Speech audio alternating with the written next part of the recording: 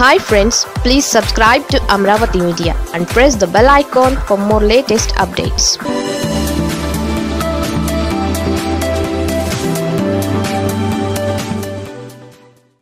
Akhila Priya ఫ్యామిలీకి గుంటూరు శ్రీనితో ఉన్న link ఇదే. తెలుగు రాష్ట్రాల్లో సంచలనంగా మారిన బోయన్పల్లి కిడ్నాప్ వ్యవహారం రోజుకు మలుపు తిరుగుతోంది.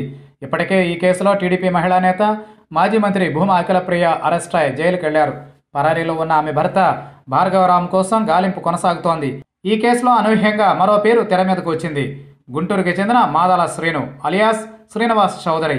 కిడ్నాప్ ముఠాకి నాయకత్వం వ్యవహరించిన శ్రీనుకి భూమా కుటుంబానికి ఉన్న లింక్ ఏంటి అన్న దానిపై ఇప్పుడు చర్చ నడుస్తోంది.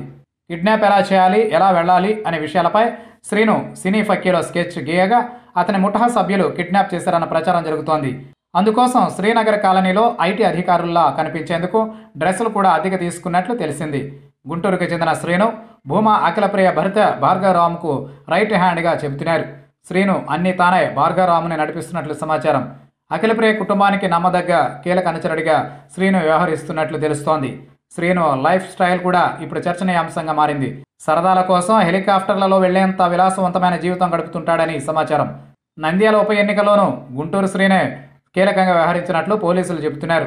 మాదాల శ్రీను పేరుతో పాటు మాజీ మంత్రి అఖిలప్రియ ఆమె భర్త భార్గవరామ్తో సన్నిహితంగా ఉన్న ఫోటోలు బయటకు రావడంతో వైరల్గా మారాయి. భూమా కుటుంబంతో శ్రీను నమ్మకంగా ఉండేవాడని అంటున్నారు.